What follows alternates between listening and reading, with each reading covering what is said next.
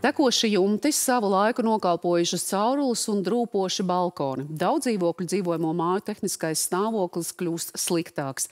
Tāpēc ēku vizuālās apsakošanas secināts arī Preiļos, bet līdzinājā pieredze rāda, ka iedzīvotāji nesteidz pieņemt lēmumu par labu ēku renovācijai.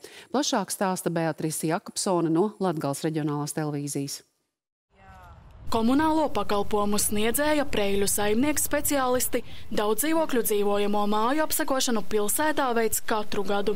Tās laikā tiek izvērtēts māju konstrukciju, kā arī tajās esošo iekārtu un inženieru tīklu vizuālais stāvoklis. Esošajā gadījumā, kur šobrīd mēs esam, mēs secinām un konstatējam, ka jumta pārsegums, jumta segums ir kritiskā stāvoklī, jo ļoti, ļoti daudz, ļoti lielas sūces ir. Un šeit būtu jāpieņem lēmums ar steigu. Neapmierinošā stāvoklī ir nevien daudz dzīvokļu māju jumti, bet arī kanalizācijas un ūdensapgādes sistēmas, gan siltumtrases caurules. Pēdējos gados iedzīvotājiem arvien biežāk nākas izsaukt avārijas dienestu.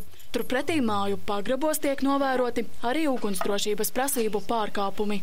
Viņš vienkārši atnes, atnes pēc remonta visu šejieni, saliek vecās durvis, leduskapi, ko varētu aizvest uz prēļu saimnieku un nodot miskastēs lielgabarītus.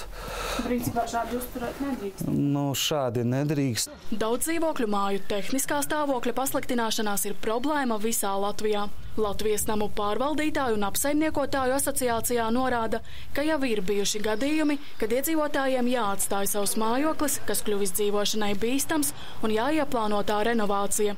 Lielākoties tas gan skar pagājušā gadsimta sākumā būvētās koka mājas. 90. gadu sākumā atgūstot neatkarību, beidzās nu, tāda plānveida eh, pārvaldīšana no valsts puses un pašvaldības. Lielākais fonds tas ir padomu laikā dzīvotā daudzdzīvokļu, būvētā daudzdzīvokļu mājas.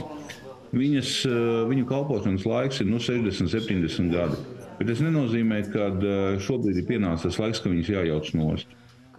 Tās mājas, kas ir pienācīgi uzturētas, viņas uz doto brīdi ir ļoti labā stāvoklī. Viens no galvenajiem klupšanas akmeņiem aktīvākai māju renovācijai ir pašu iedzīvotāju kūtrums.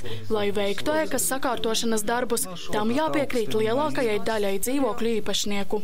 Dzīvokļu īpašnieki negrib uzņemties atbildību. Viņi pat neapzinās to, ka, ka atbildība ir eh, viņu, viņu rokās, ir tā rīcība, ka lai nu, teiksim, lai novērstu mājas tālāko bojāju. Tāds populārais teiciens, ka manam mūžam pietiks. Bet īstenībā paliek, paliek mantinieki. Lai dzīvokļu īpašniekus motivētu par labu ēku renovācijai, attīstības finanšu institūcijā Altum ir pieejama atbalsta programma, kurā iespējams saņemt līdzfinansējumu no Eiropas Savienības. Ir otra programma, kas ir bez šī līdzfinansējuma, bet arī no eh, altuma puses atbalstīt arī reģioniem, ja Komercbanka nedod. Un tur var paņemt jebkādiem šiem nepieciešamiem remontdarbiem. Vēl ir ļoti daudz atbalsta programmas eh, dažādas pašvaldībās. Daudz dzīvokļu dzīvojamo māju vizuāla apsekošana Preiļos turpināsies līdz pat jūnijam. Apsekošanas rezultātu akti ar katrai mājai ieteicamajiem darbiem māju vecākajiem un iedzīvotājiem būs pieejami jūlijā. Beatrice Jakobsone, Andrejs Mažāns, Latgales reģionālā televīzija.